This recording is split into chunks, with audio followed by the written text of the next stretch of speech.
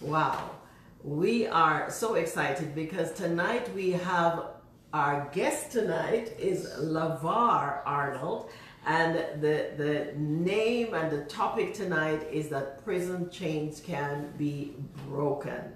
And so, LaVar, you shared your testimony with me, and I tell you, I was amazed. So, so explain to me your journey of, of, of from nine years old, some of the things you got involved with. Um, at nine, you said you started to smoke marijuana. yes. Tell us how that started. Um, I got introduced Into um, what? Into marijuana Mhm. um, by um, one of my friends who was also nine years old. Nine-year-old friend. Yes. Yes. And actually started smoking, and it felt good. It felt really So, so little boys good. experimenting, and you found it somewhere, and you Yes. smoke it because it's it's natural for kids to experiment, you know. Yes, yes. And but the thing about marijuana that it is so addictive, and so you experimented, and did the parents not catch you and No. scold you? No. You no, hid. We hid. You hid We always hid Yeah. and wait till it wear off. Then we go home. and wait till it wear off, and then you go and then home. go home. So, so, so you know at 90 it's gonna wear off. Yes. So then, then it became a regular habit. A regular. Like at nine year old, like how often would you smoke? Would you Um, experiment in- again? In not, I mean, when I was nine years old, it took me like, probably like four a day. Four. I smoked like four times a day. You spoke, you smoked Smoke. four times a day at nine years At old. Nine years old. Yes. Were you not in school? I was in school. So were you smoking at school? I smoked at school, in the back of the school. I smoked between sessions. I smoked before I go to school. I smoked after school. Wow. So it was a lifestyle for me. well, I think this is the, the, the first time I've ever heard of a nine year old having a lifestyle of marijuana and speak and smoking four times a day.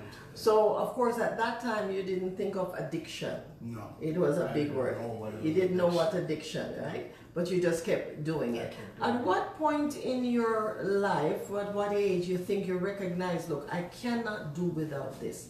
About when you think that would have happened? I was like 18. When you were 18. Yes. You could not do without could it then. could not do without it. So when the addiction came upon you, like what what you, you had to you, you you feel like you had to get this I thing feel like I or had what to. I feel like I had to, just at any means at any means. necessary. Meaning If I had to steal, if I had to lie, if I had to rob someone, whatever I have to do just to marijuana. just to get. And you know, it's amazing because I think different nations are now legalizing the Yes. marijuana, and you are saying then that it is very addictive. It, it, it is very addictive. Because we're hearing that it's not addictive, It is. and they're legalizing it now, and young people are experimenting, experimenting more, and everything. So at 18, you got involved then to the point of addiction. So at 18 years old, you had finished school. Did you you finish school? Actually, I didn't finish school. Yeah. When did you drop out of school? I dropped out of school when I was like 17. 17. So you didn't finish. And then after school, after you dropped out of school, then what were you doing? Just hanging around. Just hanging around. Just hanging around. So how did you get the marijuana? You had to buy it. So where you got money? Uh, we we used to sell drugs. You were selling it. I was selling So so after then, when you get addicted, then you sell it for the habit sake, for the habits. for the sake, so the habit sake. For So you got into the drug business. Yes. Yes. And at that time, did your mother know you were selling and smoking? My mother did not know. Did she know you were smoking? No, she did not. Okay, or selling. She did not know. And then it progressed, then Lavar, that you got involved with a whole group, Yes. almost like a gang. Yes. Tell us, tell us what, what, what a gang life is like. Um, how did you, did you, did you have to get initiated in the gang, or you just knew them and you just joined? I knew them. So Yes. I just joined. You just joined. Yes. So at what point you know I'm a member? Because you have to be a member of the gang, right? How did you become a member of the gang? Well, we had to do certain things. Either they send us out to steal, they send us out to to even just just try to to take anything we can to be a part of the group. To prove that To you prove that initiation. I- yes. yes. Yes. Yes, and you know, for parents that are are are you know watching, and you recognize that you're you're praying now for your children, and your son is beginning to act a certain way. Um, now we're seeing where we progress from just being um, smoking with a friend to actually selling a friend, and they're asking that you speak louder. Okay. Yes, and so um, so so with it with the gang, what was gang life like? You you get up in the day and you're not working No. because gang life is your life, Yes. right? Yes. So what is gang life like? It's it's like I, I then I thought it was fun to just wake up in the morning and go hang out. Um, just hanging out on the street, um, selling marijuana. It's it's like a lifestyle. I I just every day same thing over and over, um, giving trouble, you know, just being wanted. Yeah. So did you get into fights Yes, I did. So- I so- in a lot of fights because of the gangs? because of the gangs. So were, was it gang fighting gangs or gang you? fighting gangs. So you had to get I involved in get fights. involved in.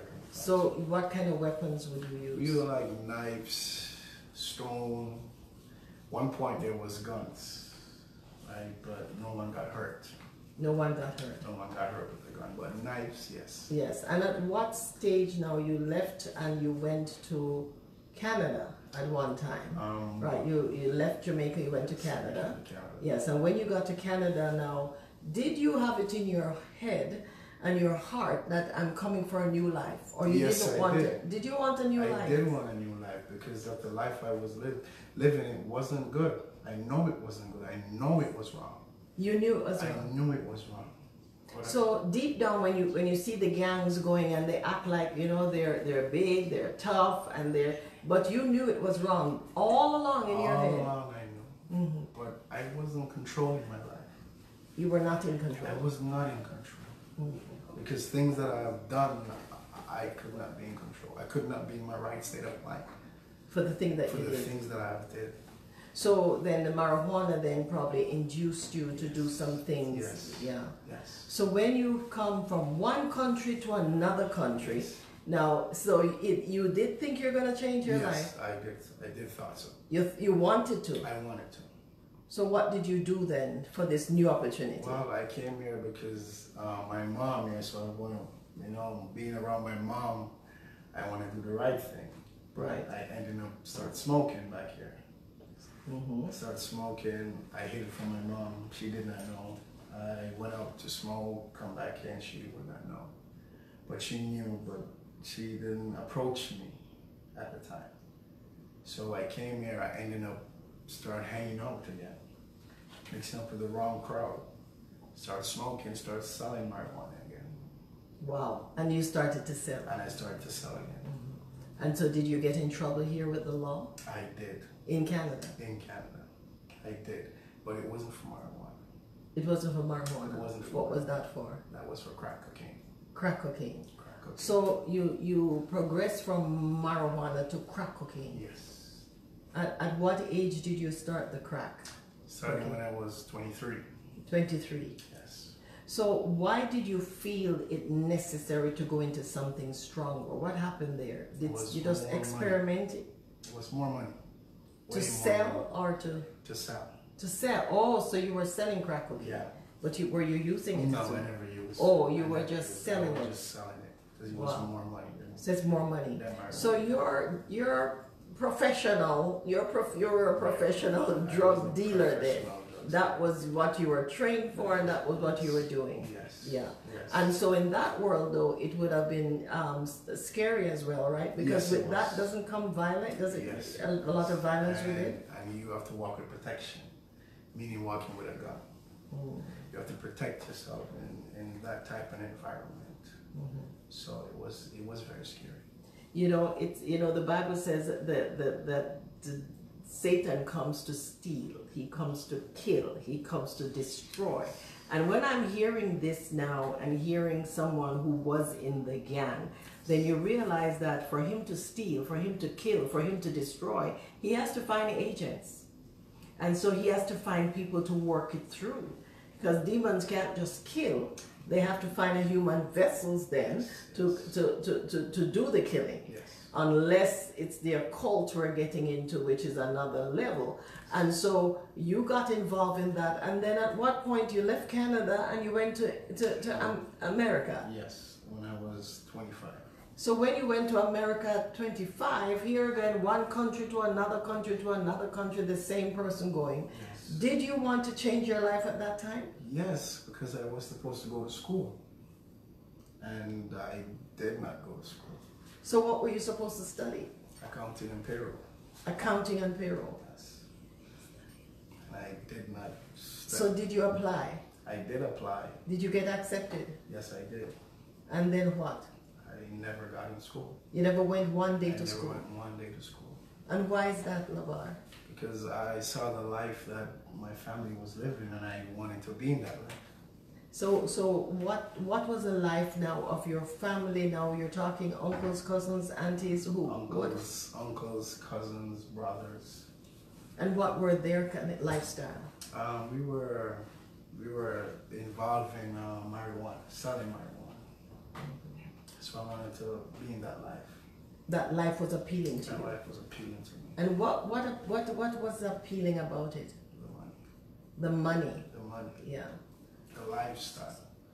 Uh, The lifestyle of what? of, of living the fancy life, living the life of having nice cars, nice house. Wow. That type of life. And so tell us now what happened when you ended up getting into prison. Tell us Um, about that. What I, happened? I got caught yes.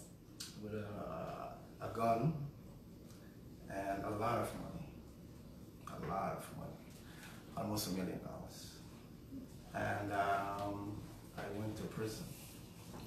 And I fought for six months. They wanted to give me 20 years in prison.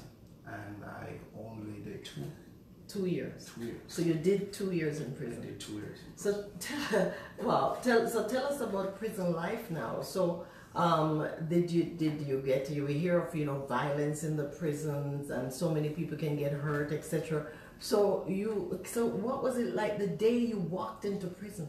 Did did that not affect your heart? Like Yes, it wha- how, what did you how did you feel? I had migraine for almost a week because I never been in this environment. And I watched a lot of people got hurt.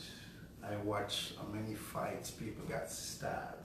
I watched people got killed In prison. in prison.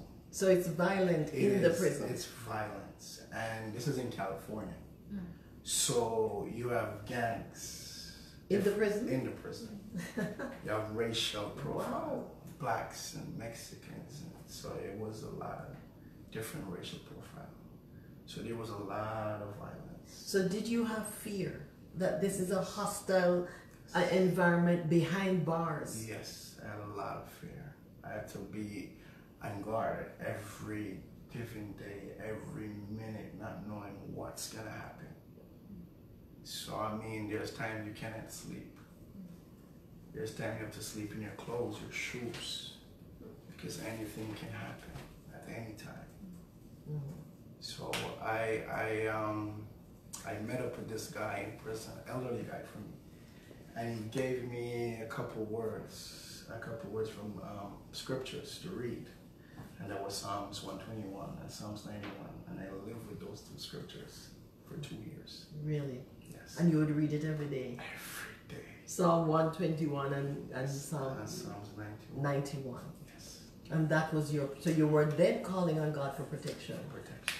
Wow. Yes. So fear, the torment was coming again. So prison life is, is, is, is rough. Yes, it It's rough. Yes, This is is. not something, you know, and I think that should be deterrent, you know, for young people getting involved in this lifestyle. It might look good with a nice car. It might look good, but you know, it, it is in a violent, rough, dangerous life of hell on earth. Yes. You know what I'm saying? Yes. Because here you are selling for Satan, you're into that thing, then he put you in prison. Now you are at the mercy, you know, of violent people and they can attack you at any time. Yes. Wow. And so then it did you have any fights? Did, did any did anybody uh, uh, try to fight you or did you get into any altercations in prison? I mean, people did you have to behave yourself like what could stir it up? What could stir up Um, a fight? anything.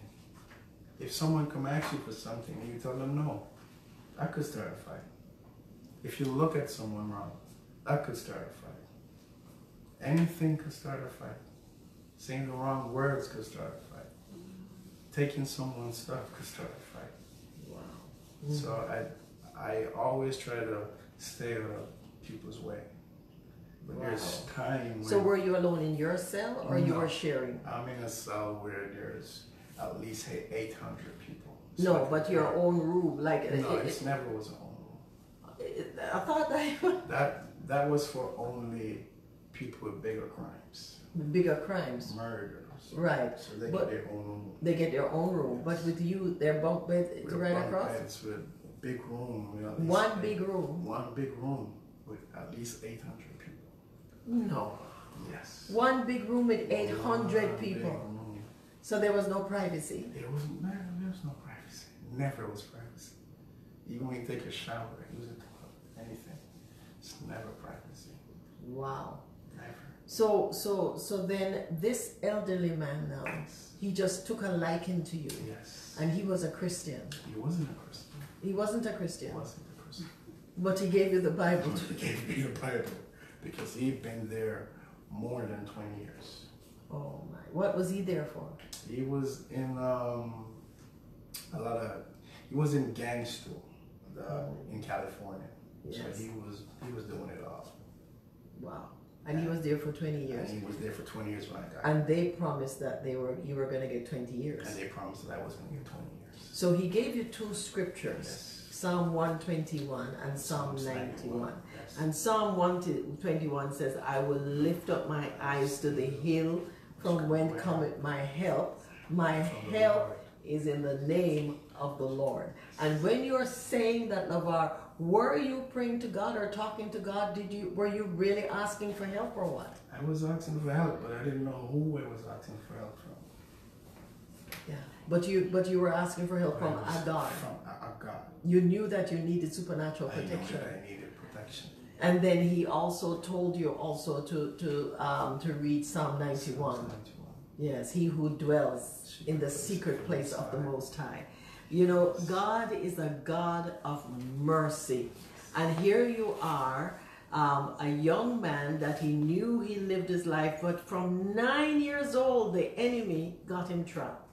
And you know, Satan is evil and he's no respecter of persons. And so here it is now that nine year old somebody give him free drugs. And then they would keep um, trying the drugs and using the drugs from nine years old, and now he is in prison. So just like how God begins with the end in mind, Satan also begins with the end in mind. And in his in the end in mind, he wanted you killed because you have come close to some near-death experience, eh? some of the escapes that happened. Like even you were saying, I didn't know it was a big place with 800 people living in the same one big place. But you're saying that sometimes you'll be in the prison and and you just as you leave, something will happen. Something so it's like what? Meaning I mean, one point, um, because you have one prison called reception, that's where you go to find out which prison you're gonna go. And you stay there for three months. And the morning that I leave, because they wake you up like four in the morning, and I leave four in the morning, and by six thirty, it was a riot. People got stabbed. People got. People end up in hospital. People got killed in that same place that you were. that I was. So God was there all along. I, I did not know at the time. And you did not know. I did not. And you say there were other times too when you had narrow escapes that just as you leave something happened. What were some of the other times? Um, sitting, you said sitting on the yes. streets or or what? I remember hanging out in a corner um, with a group of us, those guys. And, And which which country was this is in Jamaica. Okay, because there's Jamaica, there's New York, there's California, there's Yes. Canada, and the same thing recur. So at one time in Jamaica, you were sitting at Yes, a, a group of us, and I, and it was like someone told me to get up and leave. And I get up and I leave, and as I because I was close to my house, as I just walk in, I heard a lot of shots in that same gunshots. gunshot in that same corner. Yes, and people were shot. People were The shot. same of the people you were The with. same people. Yeah. So did any of your family members or friends that you know in the gang, the cocaine business that died actually got killed by gun, Yes. shot? Yes. Who who is it that did? My brother got killed. And how old was he? My brother was 20 years old. Twenty. 20 years old. I got two uncles So your brother got shot by who?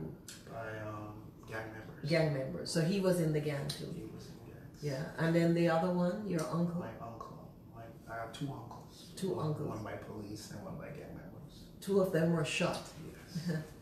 One by police and one by gang members. My God, I, I'm telling you, you know, you see these things on the movie, but we're talking about somebody who lived the life. And you said there was a very fearful time when the police came to look for your uncle yes. because he was a dealer Yes. and you were sleeping. And I was sleeping. So the police could have thought it was him. You were him. Yes. And what did the police do? Um, I, I Yeah. slept with my sheet over my face. Right? And they pull away the sheet. And I was looking straight into a gun. And they put the gun in your face. In my face. Yes. like This close. Wow. And um, I did not I I did not move.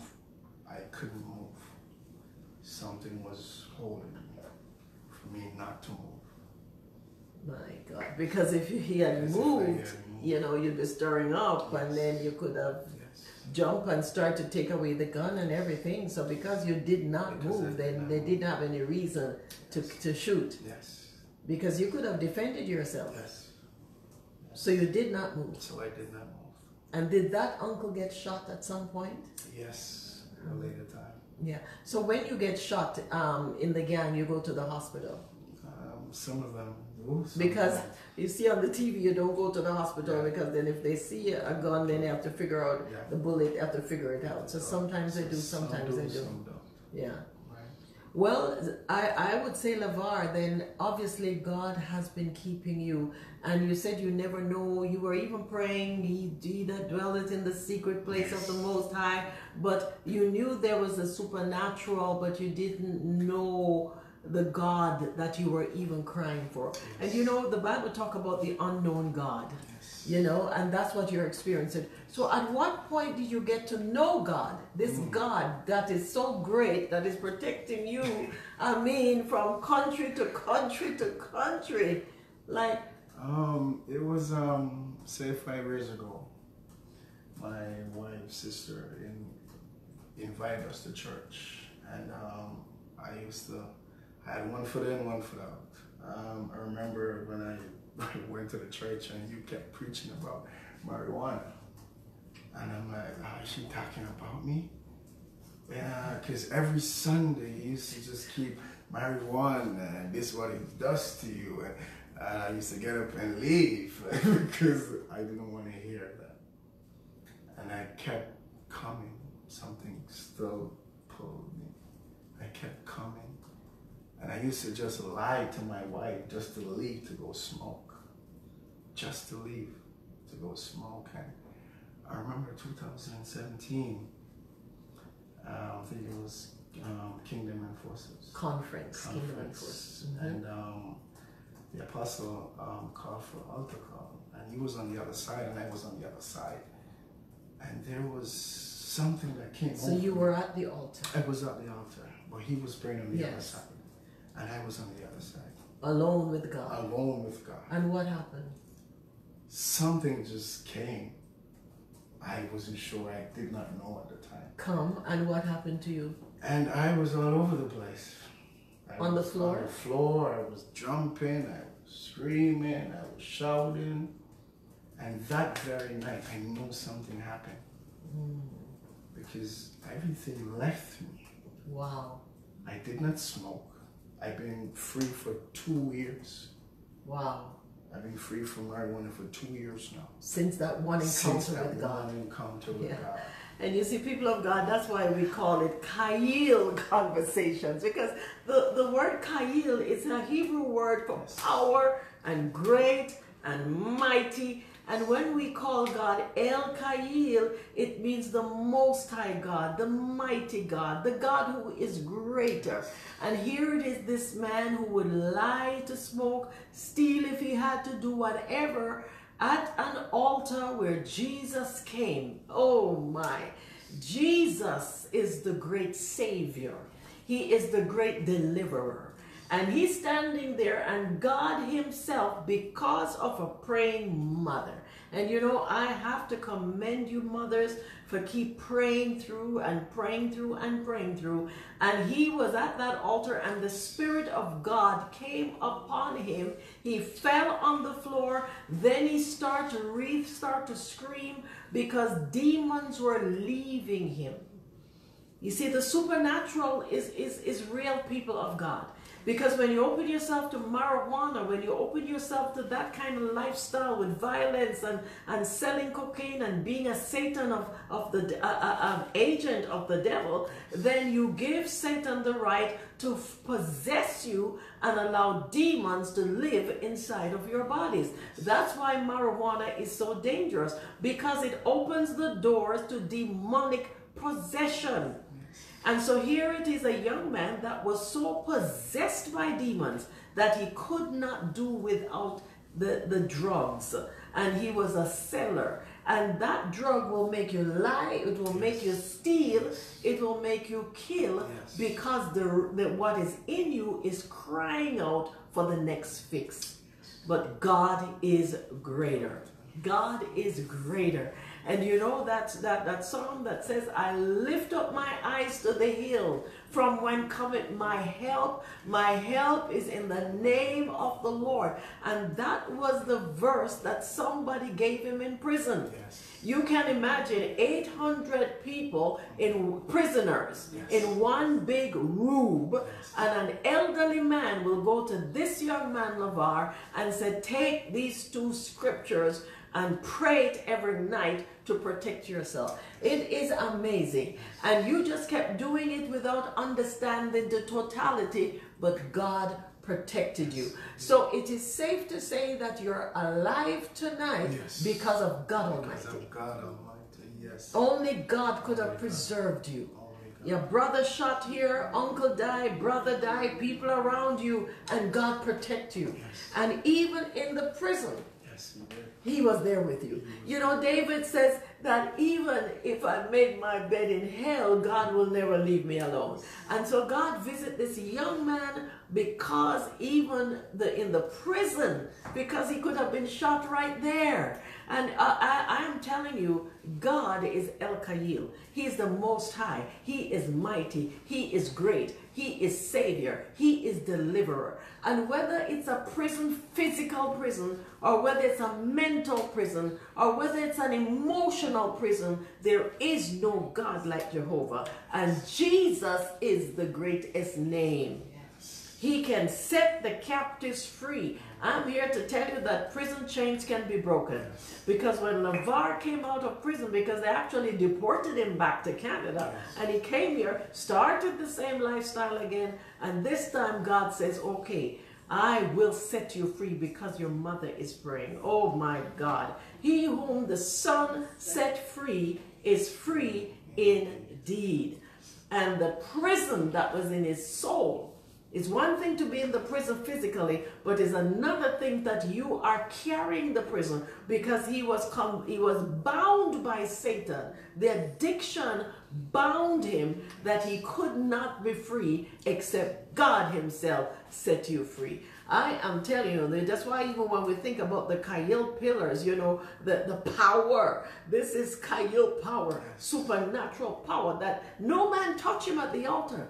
God came down upon him and he fell on the floor, started to read, started to scream as one by one demons was leaving his body because when God comes in, demons flee.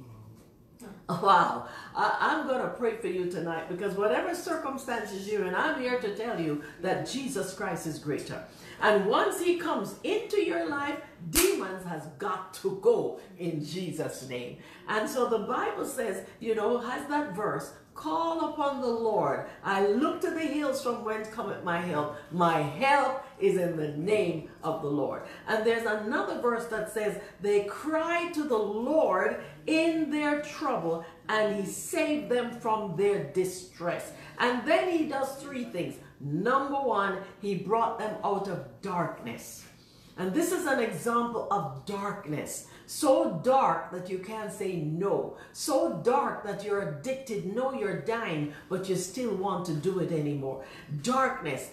they save them out of deepest gloom being locked away in that prison cell and you can't even sleep. Sometimes you have to have your clothes on. You don't know if somebody's going to attack you in the night. You can just look at somebody and they start a fight just because you look. I mean, the hostile environment where there's no protection. And then not only does he deliver you from darkness, deliver you from the deepest gloom, despair, but then he broke away their chains. Hallelujah. And that's exactly what happened to LaVar. He broke the chains and he is now set free. He and his wife are both free. They have three lovely kids.